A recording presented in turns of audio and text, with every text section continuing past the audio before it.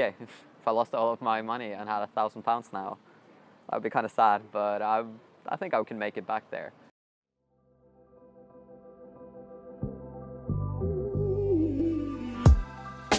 I turned 10k into a bit over a million dollars. Uh, my name is Jonas Gjelstad, and I'm a sports bettor, previous poker player, and basically trying to figure out what I want in life.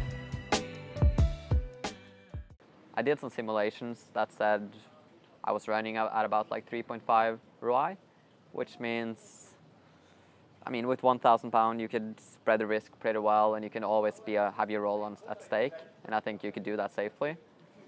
And realistically, like, theoretical, you could then run on EV, which is 3.5%, and let's say you could turn your roll over 16 times every month.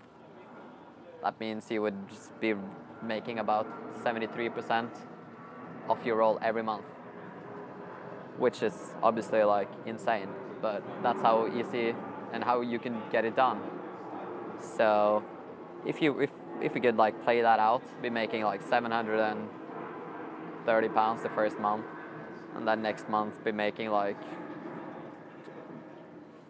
almost like I think it's like 1300 and when you play it out throughout the year, in a year you would turn like 1k into 140k. And that's just betting 10 months of the year because you take the summer off because there's not always so much action on the, every summer. Like there's sometimes there's Euros or World Cup, but let's say this is a summer where there's no summer or, or Euros like like it next summer. Yeah.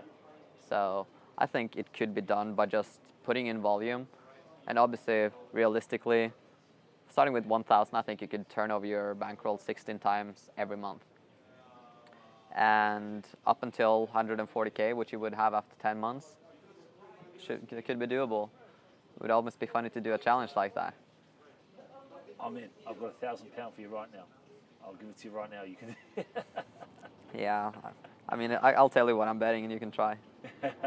Just use Edge Analytics or Trademate Sports and see what you can do.